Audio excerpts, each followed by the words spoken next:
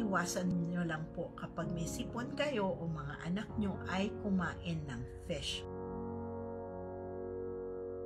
Isa pala po na nakakasama, ito hindi natin to alam eh. Siguro dahil hindi tayo sanay, no? Na ang ubo at sipon ay hindi nila po ginagamot dito. Hindi po yan iniinuman ng gamot. Okay? At hindi po yan nagtatagal sa kanila.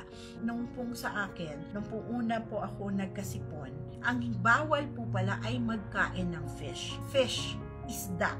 Okay, napakasimple, no? Kapag ka kumain kayo ng isda, there is something in the fish na kapag nag-react sa katawan po natin, the more po tayong sisipunin. And to a point na lalagnatin. Kaya po dun tumatagal, no? Kaya ang iwasan nyo lang po kapag may sipon kayo o mga anak nyo ay kumain ng fish. Huwag po, kasi pag hindi ka nakakain ng fish, automatically ang body mo papalik siya ulit sa normal. Yung pong sipon, yung pong bacteria o virus ng sipon, o wala po yan, no?